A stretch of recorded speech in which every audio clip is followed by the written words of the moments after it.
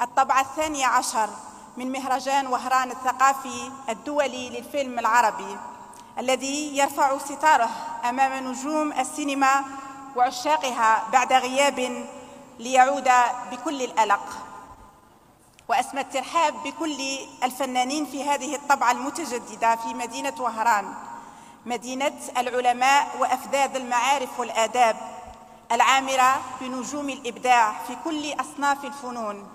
وها هي الباهية اليوم تصافح أفراحها ومجدها وهي تبتهج بكل ضيوفها الكرام في موعد مع الإبداع وسعر سحر الفن السابع. شرف كبير وتحدي أنني نكون على رأس هذا مهرجان وهران. أتمنى نكون جبت لمسة ولا إضافة جديدة. لكن ما رانيش وحدي أنا إذا كان المهرجان نجح هذا فريق عمل كامل.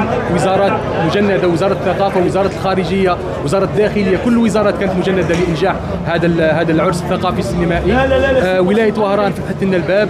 كل كل الناس اللي مشاركين في المهرجان لباو الدعوه وجاو رغم الظروف الصعبه دونك نتمنى إن شاء الله يكون نجاح c'est un immense plaisir.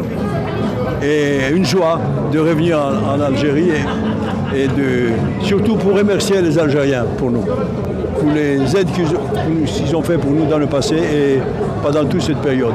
بعد ست سنوات يرجع المهرجان الحمد لله رجع بقوة أنا نشوف اللي رجع بقوة كبيرة لأنه نشوف اللي كاينة باللي كاينة احترافية كبيرة سواء في التنظيم سواء في, في الأفلام اللي راح تجوز هذه.